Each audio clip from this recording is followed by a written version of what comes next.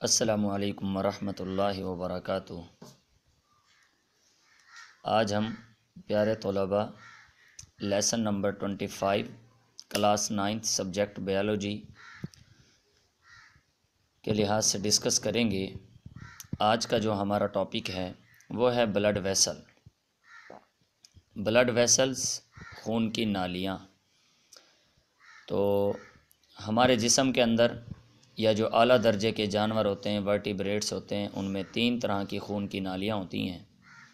Arteries capillaries और veins तो arteries तो हमने कल डिस्कस की थी, कल के टॉपिक में। तो आज के टॉपिक में बेसिकली हम कैपलरीज़ को बयान करेंगे। सर्कुलेशन हमारे जिसम में खून की कुछ यूँ होती है कि ये सबसे पहले खून आर्टरीज़ को जा आला दर्जे के जानवरों में खून की सर्कुलेशन कुछ इस तरह की होती है। दिल से ऑक्सीजनेटेड खून जाता है आर्टरीज़ में।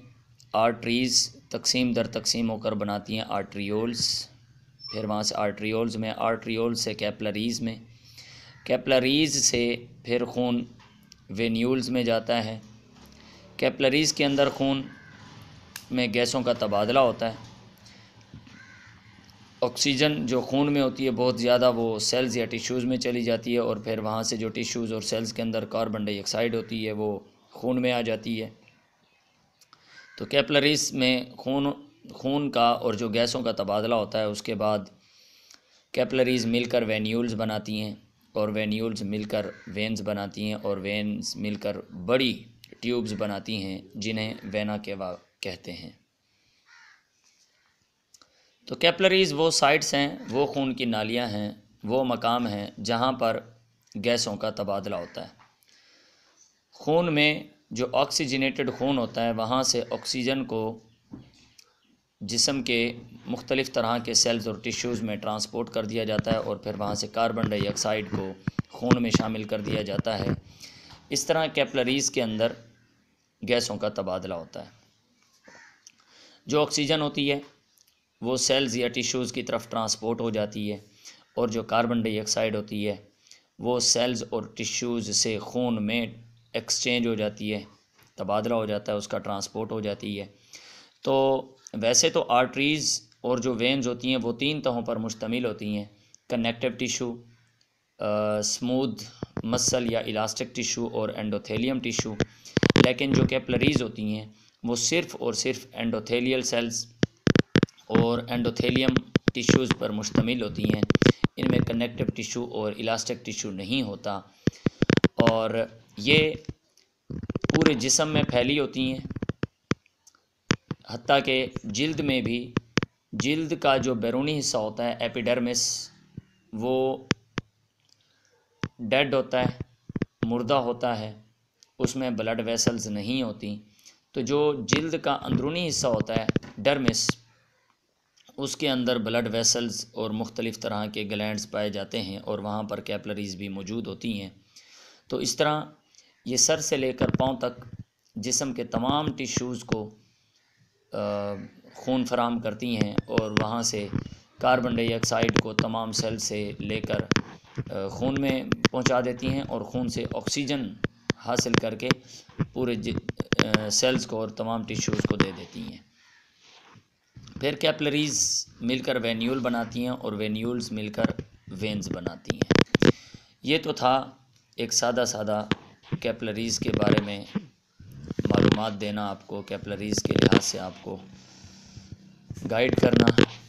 एक इंटरेस्टिंग इन्फॉर्मेशन ली जाती है कि जब खून ब्लड वेसल्स के अंदर चलता है, जो ब्लड होता है, जो खून होता है, जो फ्लूड होता है, जब वो आर्टरीज़ के अंदर बह रहा होता है, जो दरमियान में खाली जगह होती है आर्टरीज़ के, जिसे ल्यूमेन कहते हैं, वहाँ पर जो खून और फ्लूड बह रहा होता है तो ये जो आर्टरी होती है, इसकी सबसे बैरूनी तह कनेक्टिव टिशू की बनी होती है, और इसके बाद इसकी अंदरूनी, ये जो दूसरी अंदरूनी टिशू है, ये इलास्टिक टिशू का बना होता है।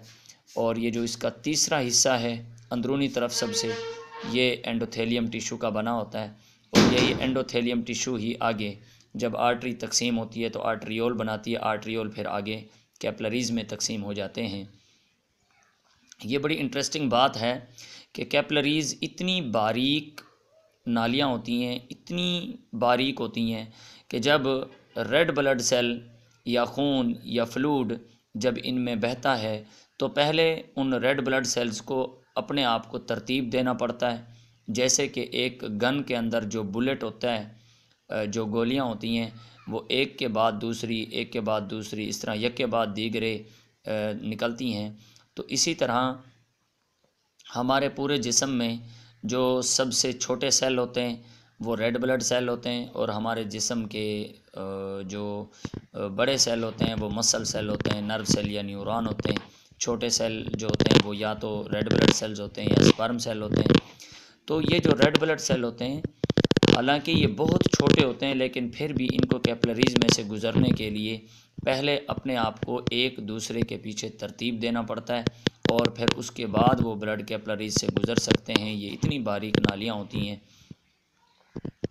और यहाँ पर रेड ब्लड सेल को गुज़रने के लिए पहले बुलेट की तरह अपने आप को तरतीब देना पड़ता है और फिर वहाँ से ये सेल्स के अंदर और टिश्यूज़ के अंदर जा सकते हैं और वहाँ पर गैसों का तबादला होता है। जो सेल्स के अंदर गलाइकोलाइसिस का अमल हो रहा होता है ग्लूकोज़ के मालिक्यूल को तोड़ा जा रहा होता है तो ग्लूकोज़ के मालिक्यूल के टूटने के दौरान एक ऑक्सीडेशन का अमल होता है रिडक्शन का अमल होता है रिडॉक्स रिएक्शन होती है। जिसमें कार्बन हाइड्रोजन बॉन्ड को तोड़ा जा रहा होता है और उस दौरान में कार्बन डाइऑक्साइड और पानी बन रहे होते हैं।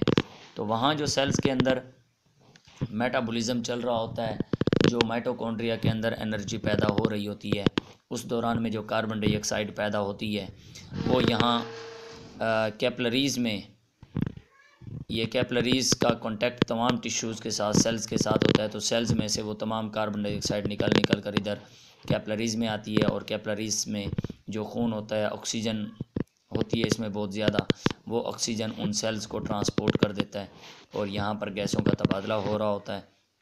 तो कल इन ताला हम वेंस के बारे में डिस्कस करेंगे।